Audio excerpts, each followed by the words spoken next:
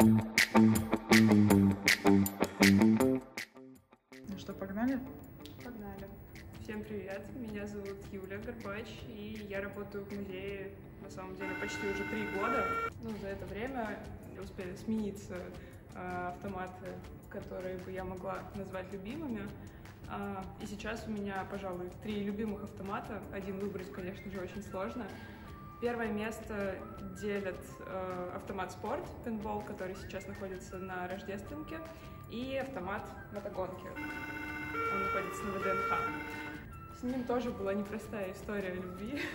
Долгое время я не могла понять, как играть в этот автомат. И на самом деле до сих пор э, много кто и из посетителей, и, возможно, даже из сотрудников, ну, не будем показывать пальцем, не понимают, как играть в этот автомат. Он не из самых простых, я соглашусь.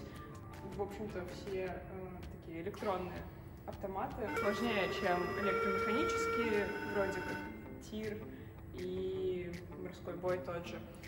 Но чем сложнее автомат, тем интереснее в него играть. И в какой-то момент я поняла, что у меня получается в него играть, я понимаю смысл игры и то, как нужно обойти препятствия. А, да, смысл игры, в общем-то, в том, что нужно обогнать соперников в мотогонке. Вы находитесь на 15 месте, естественно, нужно дойти до первого. Если доходите, получаете призовую игру, и там еще можно немножко посоревноваться.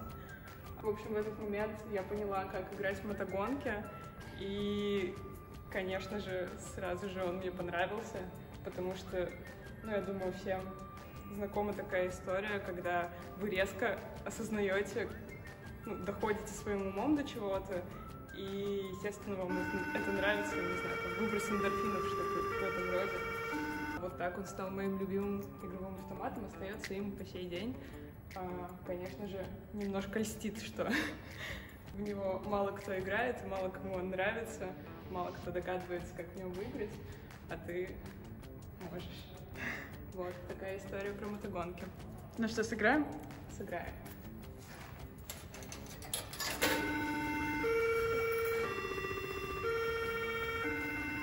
Управление тут довольно простое.